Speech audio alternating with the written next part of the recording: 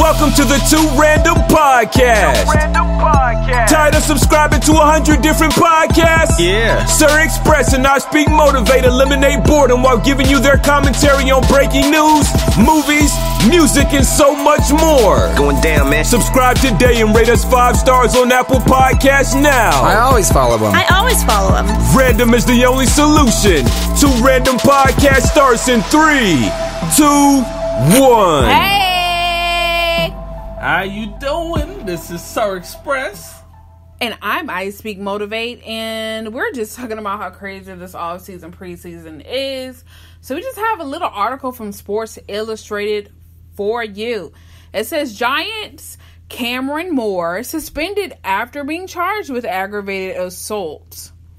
New York Giants safety Kamrin Moore has been charged with third degree aggravated assault to for punching a woman and knocking her unconscious after stepping on her neck. NJ Advance Media reported on Monday. According to court documents obtained by the outlet, Moore was arrested over the weekend as a result of a domestic violence incident that occurred Thursday night outside of his home in Linden, New Jersey. Moore was accused of placing his foot on the unidentified woman's neck and applying pressure.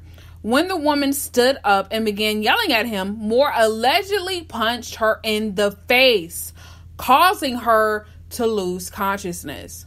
Moore and the 22 year old woman met in January and have and had a dating per the affidavit.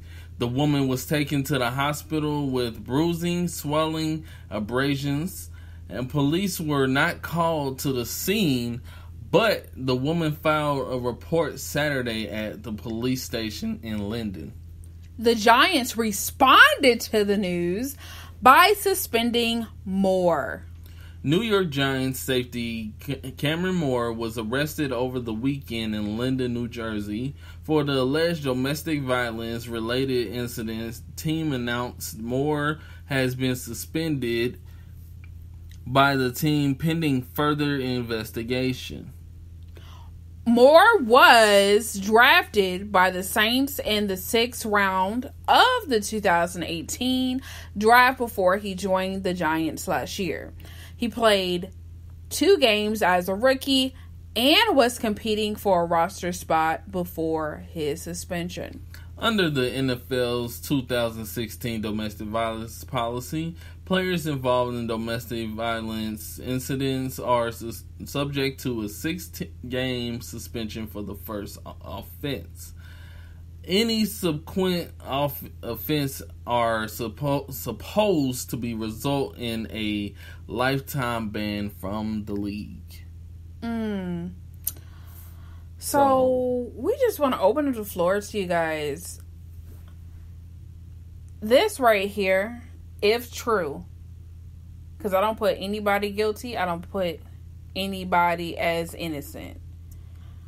If true, It's this is horrific. It's horrible. It's if true, this man literally has messed up his whole entire life. And then it's the thing where, with the young lady is concerned, why, in the midst of a woman on woman fight, do you feel the need to jump in? To me, if she came on your property, and you're like, oh my gosh, this is getting on my nerves. She's making me angry. Call 911. Exactly. First off, because you want to make sure everything is as safe as possible. The police are trained to do and you know to evacuate people in a certain way and to detain people. Second, the reason why I would have called the police if I was an NFL player because of stuff like this. I don't want people to be saying that I restrained them in a certain way, I did certain things. I would call the police if someone, if the two women were fighting on my residence and it was just getting out of hand, I would call the police not only to make sure they were safe, to make sure my reputation's intact. And that's just me personally thinking in a longevity thing. I'm calling 911. Y'all can have that. because I'm not having no parts. And then not only that, but you know, it's just a thing of not only do you have to protect your reputation, but you have to protect the reputation of the league mm. and also your your you know team. Exactly. And so when you are being you know said that you doing things like this, if true, you just messed up your career. At the very least, you're going to get six six game suspension, and that's if Roger Goodell wants to be nice. And this is a situation with that as well. Like you were saying, it does really affect the team. Because think about it. Now everybody, the coach in the locker room, like y'all, everybody, they're already hard on you because the season coming up. Now is everybody on the team, they're going to be giving them a talk like, don't do nothing stupid or we gonna fire y'all because we don't have time to have this PR nightmare out here having us look like fools and have negative press on us before we even play the game. Because at the end of the day, the NFL is a business. Period. It's a business. People keep on forgetting about that. It is. So when you even have the appearance of evil, of wrongdoing, they're like, look, they're looking at these numbers. Like, we love you, bro. You're a teammate, what have you. But at the end of the day, it comes down it comes down to the numbers. Exactly. And it's a thing where, you know, unlike other situations, there are actually witnesses in this situation that could come forward. And if they decide to speak in her behalf, then you're kind of stuck out of luck because there was another woman there. The one that she was fighting, I don't know if she's going to speak out, but if she does. And then if there was other people, now I want to know who the other woman was. Was that your sister that you felt like you had to defend her? Was that another young lady you was dealing with? You know what I'm saying? At the end of the day, is at the end of the day, no matter what, your sister could have handled herself, or if you had to, call your mama. Call your mom exactly call, to de-escalate another, another, woman. You know exactly. to come in and mediate the situation. If you didn't want to call the police, you didn't want nothing on either of their records. The best thing to do, call a woman over there to kind of deal with it. Or if you had security, being a football player, you know, get security to be like, okay, look, ma'am, we're gonna have to separate you guys, just like a love and hip hop thing. Get them separated for a bit, let them cool off. Me as a if I were a man in the NFL, I would go into my quarters, into my house, and let them they can fight outside if they want to. I am not being a part of that. That is not a part of my brand because to me, players are entrepreneurs. If you think about it, they're delivering a service and you're you are messing up your marketability when you have these scams and things on your record. And the situation is when it comes with the young ladies, that's something that's traumatic when you're hit by someone. That's a very traumatic thing. And then to be knocked out conscious, that's just unacceptable. If true, this guy has to be cut and he needs to go into therapy Yes, yes. He now, has to go into and, therapy. And this is if it's true. Uh, if it's true. We don't know if it's true. There still has not been anything but charges. Charges don't mean anything because charges just means, okay, well, this person said this, so we have to charge you with this. But if not true, then we'll drop the charges. You know what I'm saying? Though it's always so allegations. Just, you know, though it's following your name, it's still not something that you actually did. So I feel bad if this is not true and she's lying on him. Because uh, there is certain things like, why did you wait from Thursday to Saturday to let the police know? You should have let them know right then and there when you woke up and found out that this man hit you. Unless she was in fear, then she finally got the confidence you know, to do it. So it's like two different ways where this could have flown.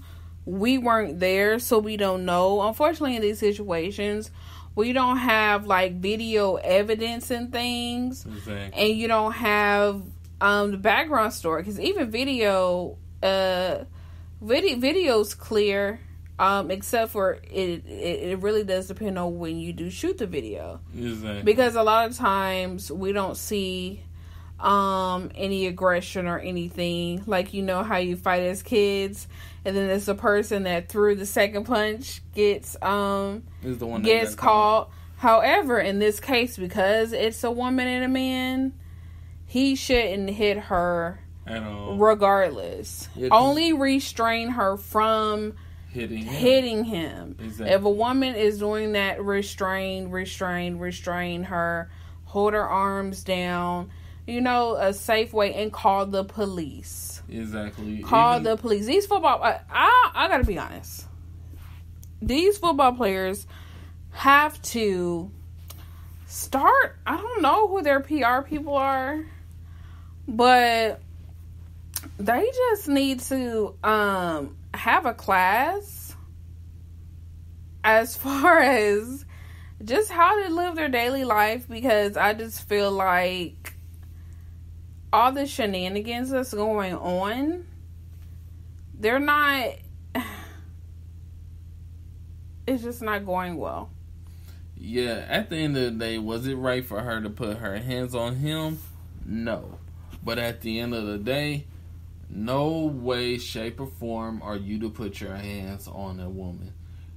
I don't care if she smacked you, hit you hard.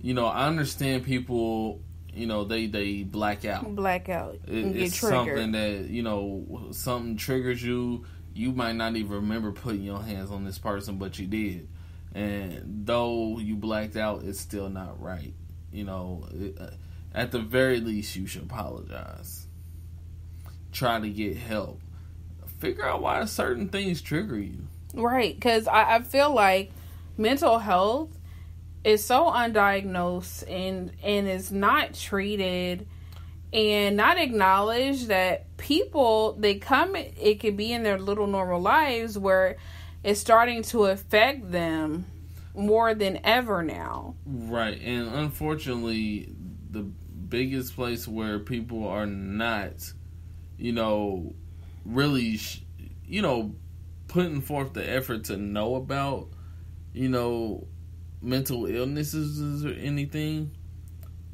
Unfortunately, is the black community, male.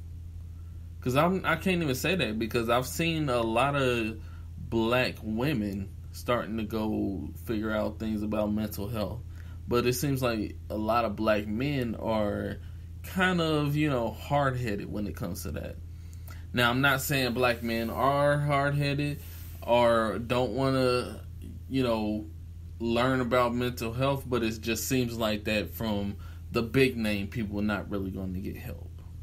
Except for Charlemagne, he's really trying to, you know, advocate for that. He created a book. Right. And I am so thankful for people like him who are trying to help. Uh, and I wish people like R. Kelly, you know, with what is going on with him, you know, at the end of the day, go get help. And I feel like he need Kamrin needs help as well. Yes, if true, he does need help. Even if not true, we also we always can uh, benefit from therapy. I think people just automatically think therapy means you're crazy, Exactly. And it does not. It just means oh, you may have a little quirks that you may have to get under control. That's an underlining symptom of a mental illness or just something that we have to work on. So, we just want to talk to you guys and ask you guys the question Do you feel as if he is guilty? And is a suspension enough? We love you guys. We thank you for joining us once again. Keep giving us those fives all day On iTunes. Apple Podcast. Thank you guys. We love you. We love you.